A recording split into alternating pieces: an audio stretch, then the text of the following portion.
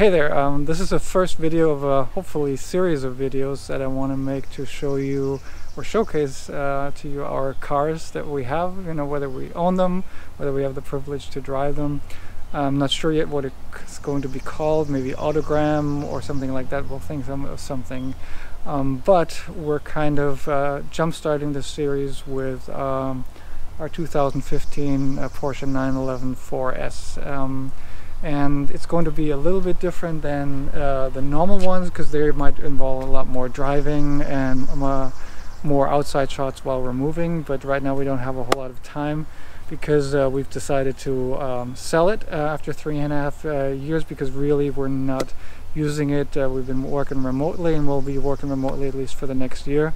So it doesn't really get a whole lot of exercise and we've got too many other cars to play around with. Um, so what I'm going to show you is, you know, walk around the car a little bit, show some of the extras uh, that it has, uh, or for some of the people who don't own currently uh, a 911 991 or 992, which is very similar, obviously, uh, the newer model. Uh, that you know, what features uh, does it have that are unique, kind of to a, to a Porsche? What I like. Um, I'll try to find some things that I don't like, but frankly, I mean, we really like that that car. I mean, that um, 991 generation is the one you know, after the 993 that uh, is one of the super cool uh, modern Porsches. Uh, so that's why I won't be finding a lot that I that I don't like.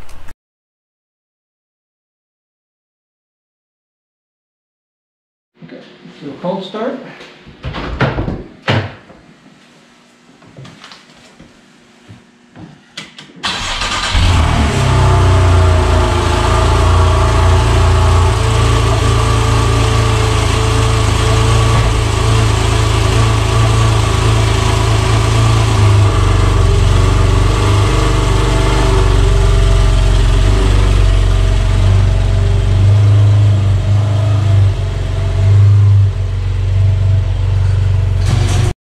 A little drive, obviously slowly because the engine oil is still cold.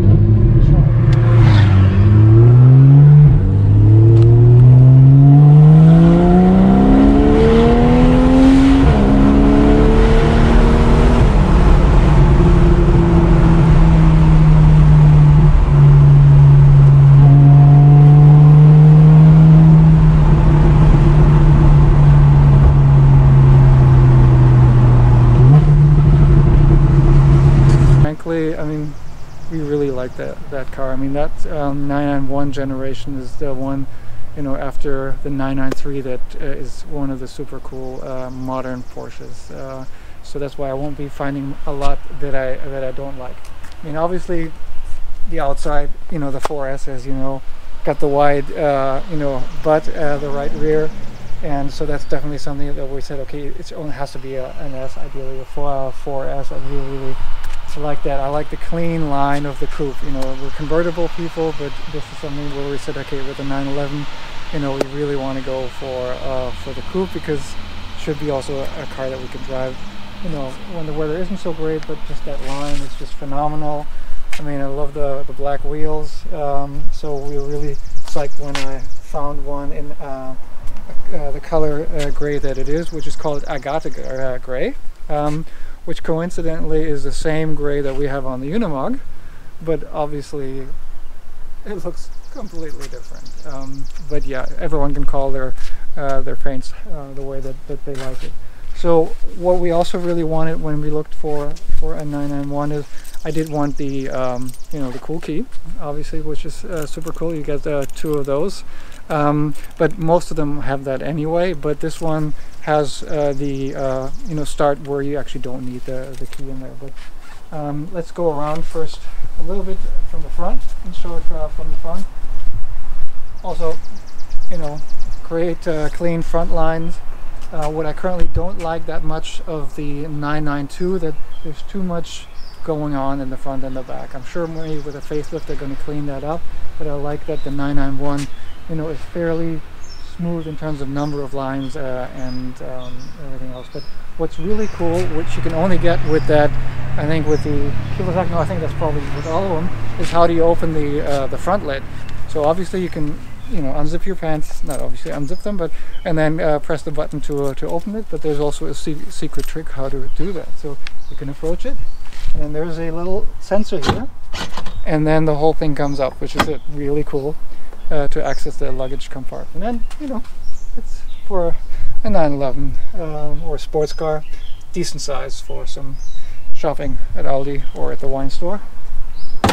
Um, so that's pretty much everything from the outside. Otherwise, you know, these uh, love the glasses. So let's go inside and check ours out. Uh, so what we have, uh, which is really nice, are the, the contrasting stitchings that we have on the leather, uh, know, here uh, on the doors, um, and the contrasting red uh, seat belts. So I think that's a nice accent because, uh, you know, as convertible people, we really don't like, you know, being inside and it's, it's you know, with the dark color, it's all dark.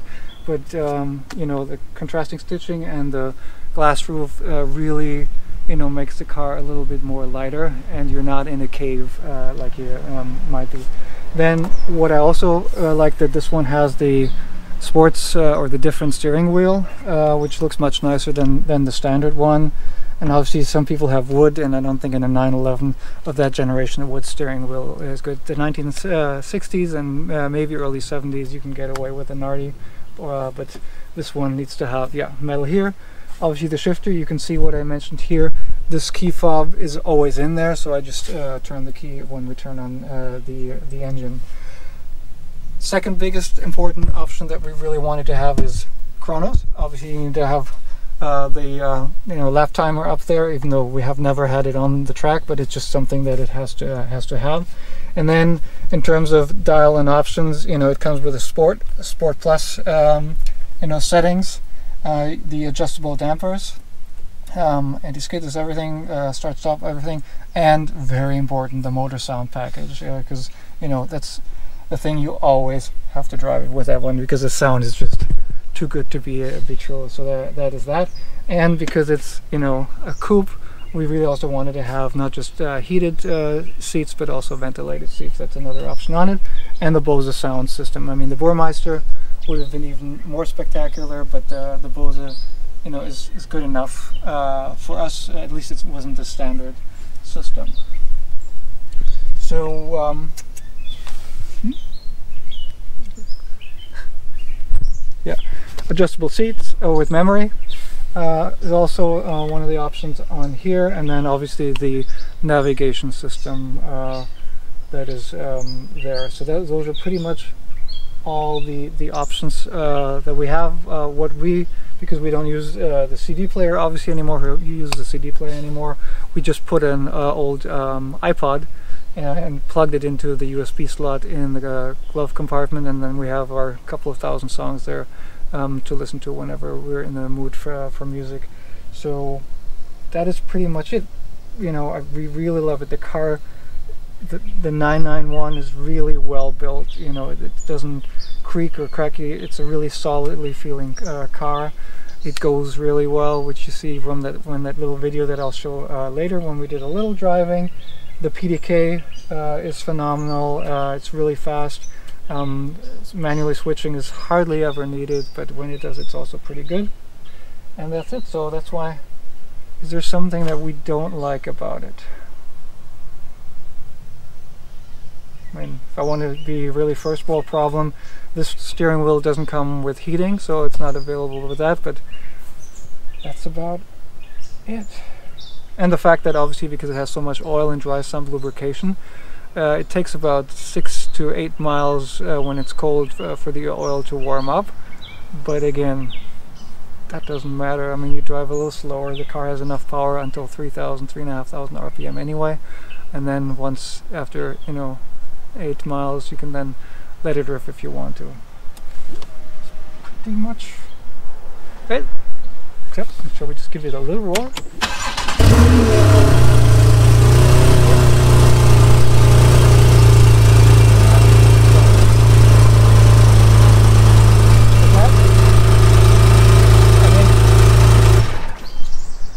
We're done right? Yep. Um, so the only thing which I don't like about it that we're letting it go. But uh, hopefully we'll find a, a good owner who can appreciate it uh, in the future. And so after this video I said I'll put the uh, little driving scenes, the cold start uh, video there as well. So if uh, there's a prospective buyer that wants to look at all that remotely, he or she can do so. Um, and yeah, I hope that uh, I'll have the time to do some additional uh, videos from our other cars with a little bit more detail. We'll go and look at the engine and all that kind of stuff. But on a 911 you can't really see the engine anyway, so that's kind of pointless. Um, but I think that's it uh, for today. So thanks a lot and see you later. Yeah, and obviously the back seats are there, but uh, in reality they're more luggage racks, so you can actually fold them down, and you can. Uh, I think three or four wine cases we've had there uh, before for transporting. So uh, it's good to have it, but yeah, you can't really have anyone really sit there unless they don't have legs, which is not a good thing.